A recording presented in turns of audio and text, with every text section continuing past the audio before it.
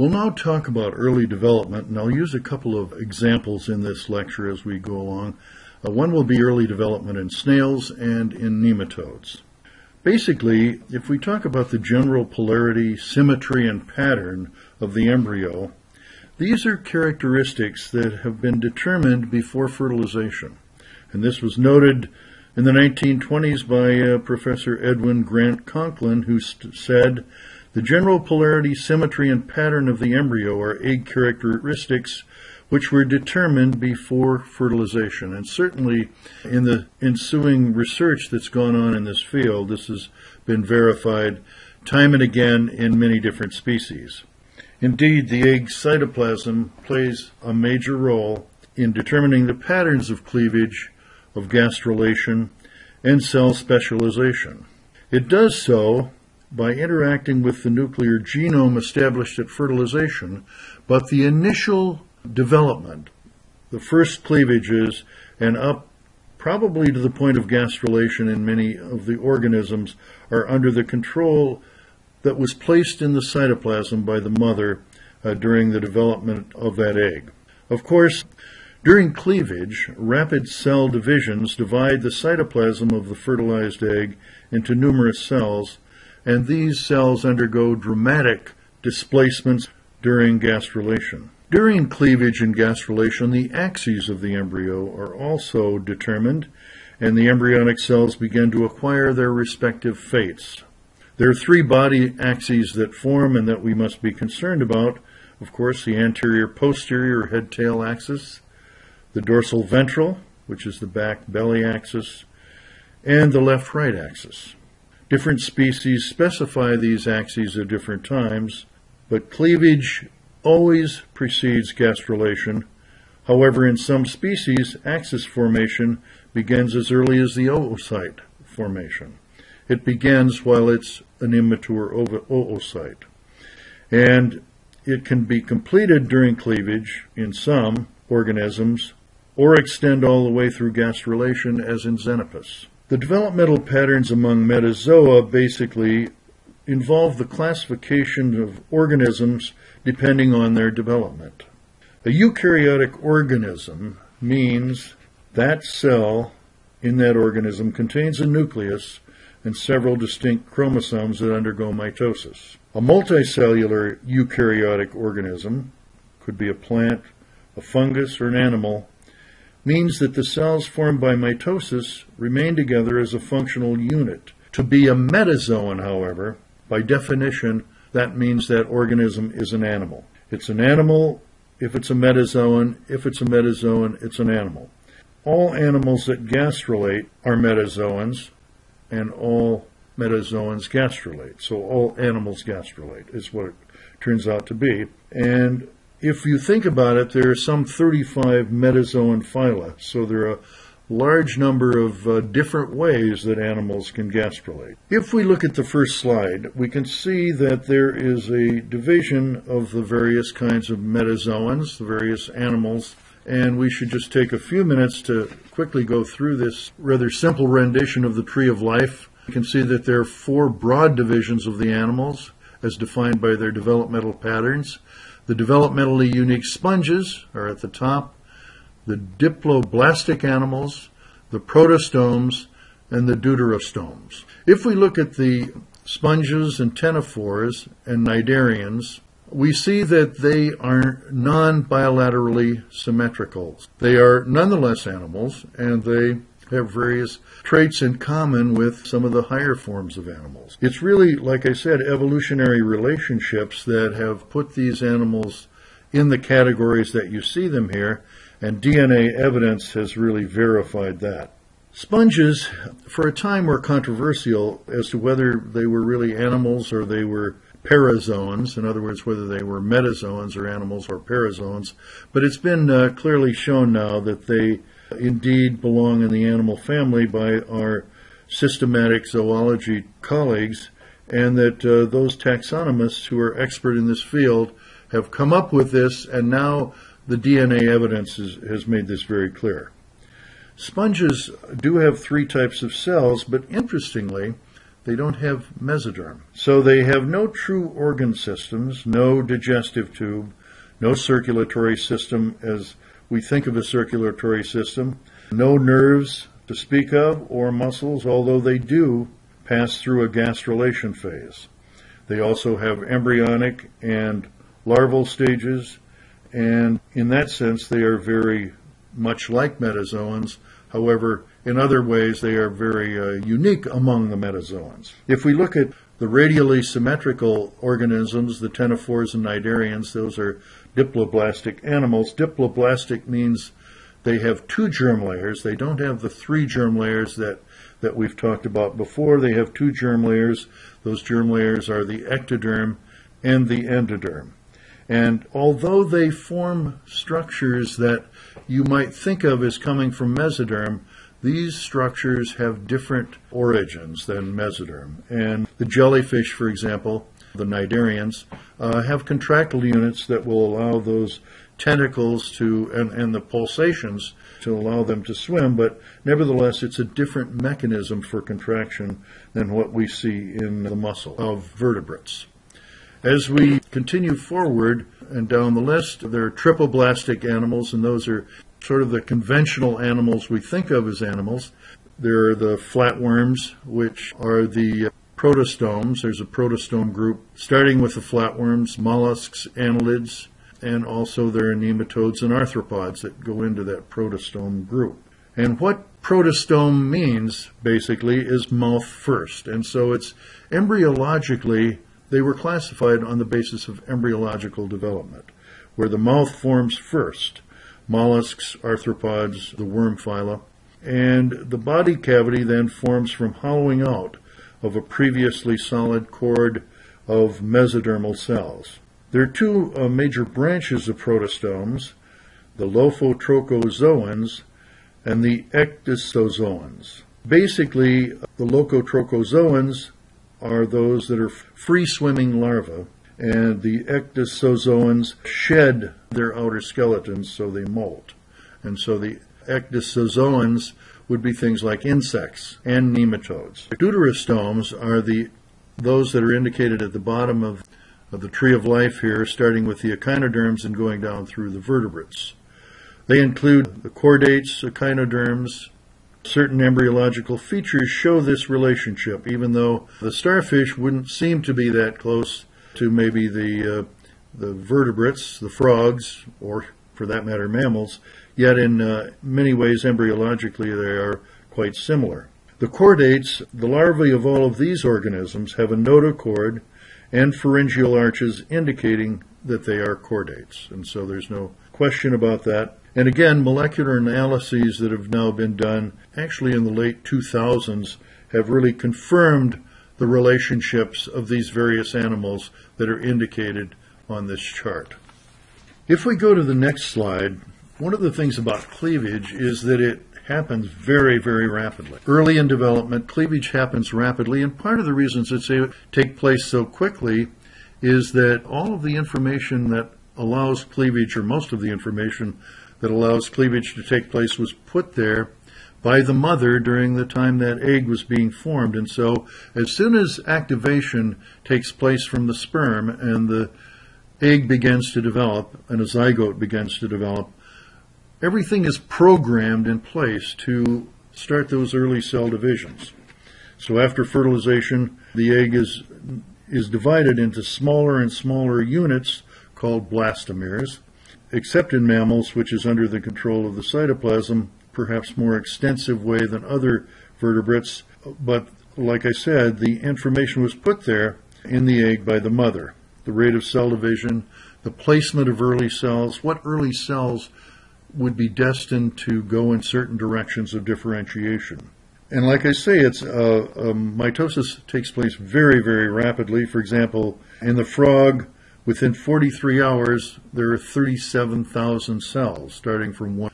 50,000 cells have formed in 12 hours. So that's a mitosis every 10 minutes. So obviously, cell division is taking place very, very quickly. If we look at this short cell cycle, there's a reason for it. Looking at the uh, slide that you have here, you can see that in a cleaving egg, what's happening is that you are getting rapid cell divisions because, well, in this case, cyclin, this is an example. If we look at this slide, you see that um, this is how cell division can take place so rapidly in these developing early embryos. What it turns out is that there's no G phase in the cell cycle. It goes directly from mitosis to synthesis of new chromosomal material to mitosis. And so, you know, in the case of Drosophila, you're getting this cycle taking place every 10 minutes. In the frog, it's a little bit longer than that, but clearly you're able to have very rapid cell divisions. If you look at the conventional typical somatic cell, however, which is indicated here on the right, you can see that although mitosis takes place, then there's a big gap, G1 phase, that could last for hours or days or, or even months, depending on the organism that's there before you come to the synthesis component where new DNA is going to be produced and new chromosomes produced, and then to G2, and again before you get back to mitosis. So, mitosis in somatic cells takes a long time because of this G phase. Let's look a little more uh, at what happens during uh, karyokinesis and cytokinesis. If we look at this particular illustration here, here's a cell that's just beginning to undergo the first division. This is uh, ex- this example is a sea urchin embryo. Here you see a diagrammatic representation of the chromosomes which have become hooked up to uh, microtubules that are pulling these chromosomes to the opposite poles. Here are the centrioles that are forming the chromosomes, and these centrioles were contributed by the sperm during fertilization, and so the sperm brought the centrioles in that would give rise to the microtubules uh, via producing tubulin. So this is tubulin material. Uh, and then you also had surrounding the entire ovum a band of actin filaments, microfilaments, although part of that band is in a, an amorphous state, so it's G-actin. But if you look at it then during that first division, you get a karyokinesis, in other words, the chromosomes going to the opposite poles, and then you get a constricting of the microfilaments called the contractile ring, and that will separate the two cells so that cytokinesis takes place. So first you get karyokinesis, then you get cytokinesis. And this is shown here in a confocal micrograph. In this case, it's an echinoendoderm. You can see the nuclei are here. Here are the microtubules. The, the chromosomes have been pulled apart and have started to incorporate and have incorporated into nuclei. The actin is on the outside, indicated in red. This is G-actin, and it will soon start to form into filamentous structures in this area and cause cytokinesis to take place. And here's a more advanced stage. Again, you get microtubules in here. Here are the nuclei in here. Here is a centriole that's spinning out lots of microtubules that can be used then to pull the chromosomes apart. The actin is indicated on the outside. This is G actin. It's blue in this case, and it has formed filamentous structures here, which have constricted the ovum of that initial zygote that basically will now become two cells. So that's reached the two cell stage. This zygote has begun to form blastomeres and it will lead to cleavage in this particular specimen, which happens to be the sea urchin. This is just kind of a summary of what I just mentioned. Uh, karyokinesis involves the mitotic spindle, tubulin. It's in the central part of the cytoplasm. Experimental studies have been done to show which of those proteins are involved in karyokinesis and cytokinesis by knocking out the proteins. Colchicine was the initial drug that was used, and it would depolymerize tubulin and not allow karyokinesis to take place. In other words, the chromosomes would not migrate to the opposite poles. They now use nocodazole, which is a, a similar to colchicine in its activity, but it doesn't affect the membranes the way colchicine does. Uh, B is a substance that will basically depolymerize actin microfilaments and form them into G-actin, so they're not able to do the contractile ring. And so if you treat cells with cytochalasin B, you will get a large number of multinucleated cells because the cells are not able to undergo cytokinesis, they're not able to divide. Let's now take a quick look at a summary of the major cleavage patterns that are present in metazoans, in animals, basically. Here you can see there's holoblastic cleavage, which means the cleavage goes completely through the cells. There are two forms of holoblastic. One is isolecithal. That means there's not very much yolk present, and so the division can be fairly complete. And then there's uh, where down here you can see that it will go through uh, in some parts of the cell in the north-south direction. However, when it goes equatorially, there are larger cells below than above because there's more yolk in those cells. That's the vegetal pole of the amphibian egg, and so it does more cleaving on the top in the animal pole than on the bottom, the vegetal pole.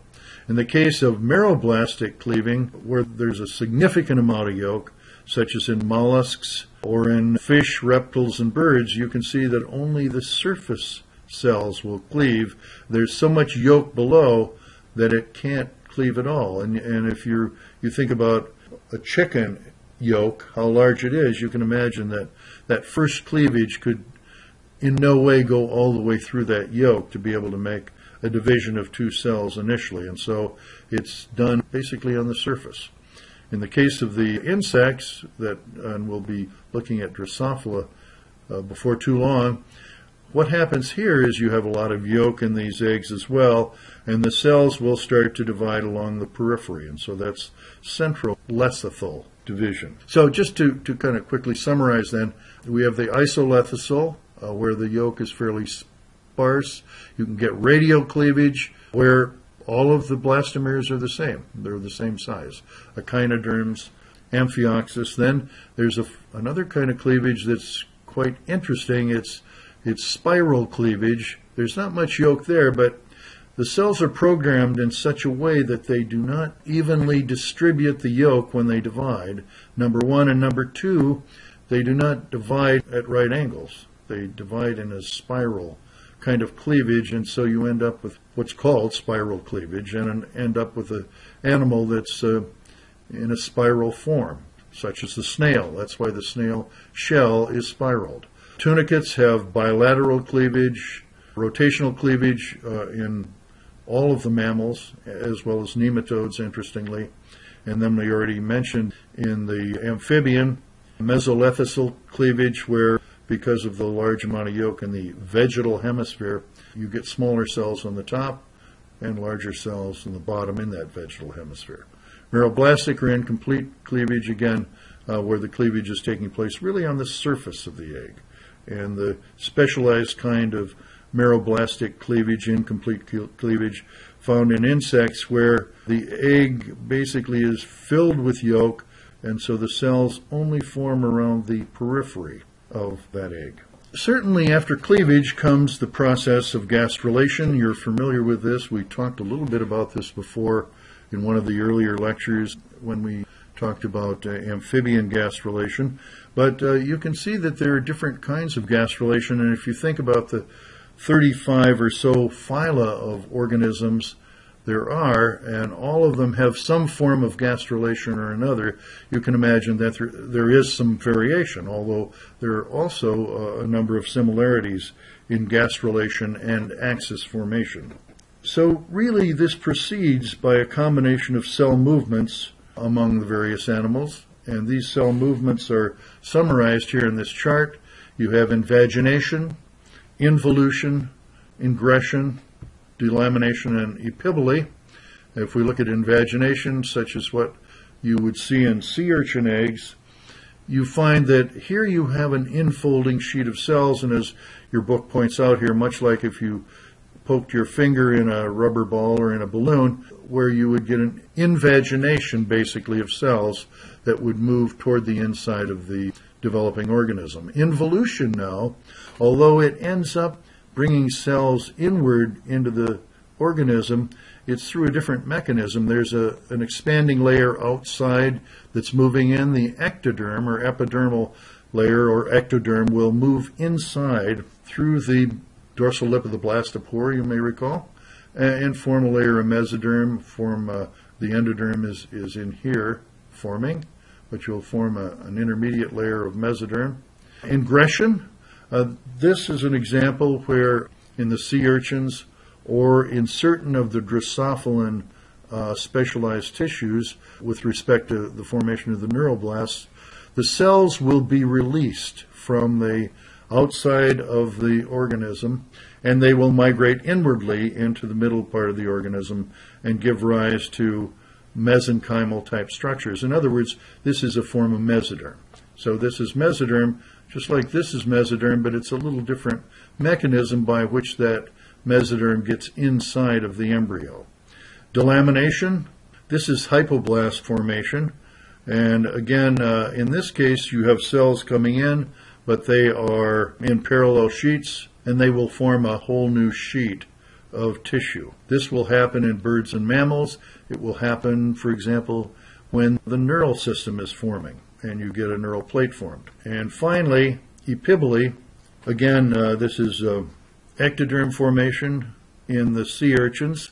And what happens here, sea urchins and, and amphibians and tunicates, what happens here is the epidermis on the outside will, uh, the cells will divide and it will continue to grow and it will encase the entire mesoderm and the endoderm uh, that's forming on the inside. And so that's called epiboly. It's where, again, the epidermis or ectoderm moves to surround all of the other layers, in particular the endoderm and the mesoderm and the organs that are forming from those uh, tissue layers in the developing embryo. Now, gastrulation then leads also to axis formation. That's a pretty simple concept, but it's one that we need to be aware of. Gastrulation defines where the anterior or posterior part of the organism is going to be, where the dorsal or ventral part of the organism is going to be, and you can see that of course, if you look at this fish as an example, the fish will have anterior, posterior, dorsal, ventral, and right, left halves or lateral halves. And if we look at a cross section, you can see that this is important because there is polarity then, uh, depending upon which direction you're looking at as you look at the developing organism. I'd like to now talk about a, a couple of um, examples of early development with respect to different kinds of cleavage. We mentioned earlier spiral cleavage in the snail. Well, this is a snail Molluscus trochus, which has an, a rather interesting kind of pattern of cleavage. If you look at the cells, these blastomeres, this is viewing it from the animal pole. In other words, we are looking at the top, looking at it from the dorsalmost aspect here.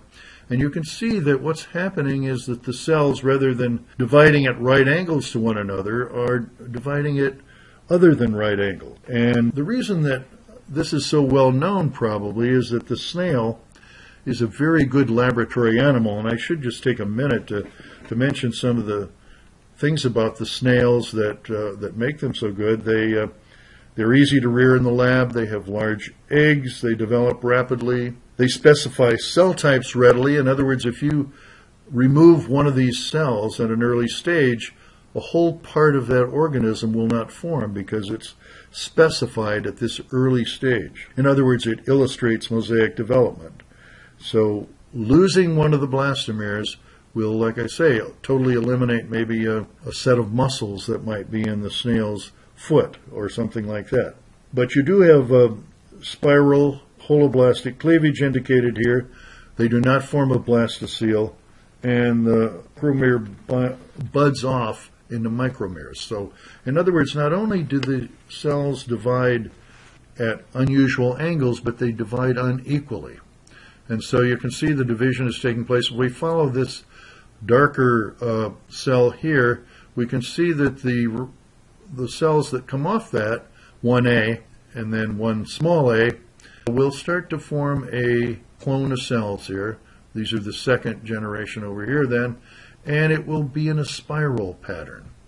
And so that's why we call it spiral cleavage. And down here, we're looking at the same uh, area, same set of changes during cleavage in this particular animal model and you can see that it's spiraling. It's beginning to spiral even at this early stage.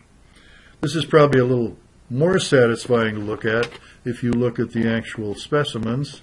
Here you can see spiral cleavage via confocal microscopy. And up here you can see that the cells are, again, dividing at this rather unusual angle. Here the chromosomes. These are the spindle fibers, microtubules. Here, here's where the centrioles would be. The actin would be around in this area. Here the actin is helping to undergo cytokinesis, division of the cell. Here's a polar body up here that's just coming out. But you can see that the uh, divisions are starting to become at different angles. And when this division takes place, these are scanning electron micrographs now, there's not an equal amount of cytoplasm going into these various cells. Now here's, here's a cell that's the largest cell, and there is indeed one cell that's larger than all the others, and, and there are different sizes. Uh, here's a polar body up here, polar body, and so you can start to see that the spiral cleavage is taking place in this snail animal model. That's an example then of spiral cleavage. If you look again diagrammatically at a couple of different forms there, you can either have left-handed coiling or right-handed coiling, and that is determined at the very first cleavage division. It's genetic.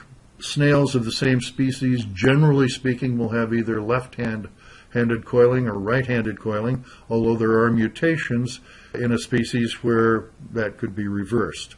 But you can see as you look down at the purple cells that you're starting to get a spiral division which has a different orientation and these snails will end up being mirror images of each other. I'd also like to just quickly go through development in the nematode, Caenorhabditis elegans. This has a, been a very, very popular animal model of, as well because of its unique characteristics, first of all, and also that it has the basic characteristics of higher organisms, yet is a, it is a very, very simple organism. Caenorhabditis elegans.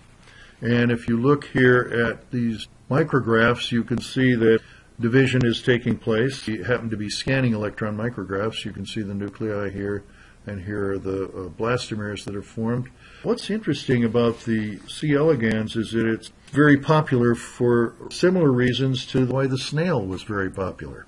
It's easy to rear in the laboratory, small, it's free living, it's hermaphroditic. In other words, it can produce offspring by itself. It has both male and female organs within its own body. It has a specific finite number of cells. There are 959 somatic cells in Caenorhabditis elegans, and each one of those cells has been traced to a certain component of what that animal will form, and it can be seen through their transparent cuticle, so you can trace the what these cells do just by looking through the microscope. They're about a millimeter long, the worms are, and uh, they uh, have a very compact genome. The geno- genome has been totally sequenced, Interestingly, there are just about as many genes in Caenorhabditis as there are in humans, which is pretty amazing uh, if you think about the complexity of the two organisms. C. Elegans has somewhere between 18 and 20,000 genes. Humans have somewhere between 20 and 25,000 genes. Yet, if you look at the number of proteins and the number of nucleotides made, the Caenorhabditis only makes about 3% of what humans do with the same number of genes. So obviously uh, there's a different kind of uh, mechanism of genetic regulation and so forth that we talked about earlier that doesn't allow Caenorhabditis to produce multiple proteins from a single gene. But anyway, it has been a very, very useful organism to study, and I just wanted to mention also as we look at it that there are certain things as development goes on. Uh, there are 389 cells, for example, that will give rise to these structures here. And that's known after about the fourth division of the cells. And you can see there are 80 cells that form muscle, pharynx, and gonads, 20 that form the intestine, 47 that form muscle and hypodermis, and, and so forth. And so it's a very well defined animal model, and you can pick out individual cells and study exactly what those cells do and what genes are, pro- are turned on to produce what proteins and, and so forth. And the final slide in this uh, particular presentation, I just wanted to show you fertilization and early cleavage stages of C. elegans. Here's an adult organism at the top. You can see an A. You can see that there's an ovary there. Now, if we look at B, uh, notice that the the area in the box shows an ovary with some oviducts and eggs that are beginning to mature, and they will go through a spermatheca where sperm is stored. They will get fertilized, and then they will come out through the vulva. Notice if you go posteriorly, you can see another ovary, and so it basically produces ova from both directions and has a two spermatheca and so forth, and so it it produces offspring from both directions. And the eggs then will start developing, and within uh, probably well, it's a, within uh, 16 or so days they uh, have gone through the entire process of forming into a, a free. I did want to uh, show you very briefly uh, fertilization and early cleavages in C. elegans. Here you can see in panel A an adult organism diagrammatically. There's an ovary. The ovary produces ova, which will come through this area here. They will be fertilized in this spermatheca and then start moving to the vulva area where they will exit the animal. And you can see that there's also a second set of uh, sex organs. There's uh, ovary and spermatheca in the posterior part of the worm as well. And once these start to develop, there's an anterior posterior uh, direction established in the egg from the very beginning. From the egg onward, these blastomeres are destined to form into certain kinds of structures that will lead to the formation of the adult organism.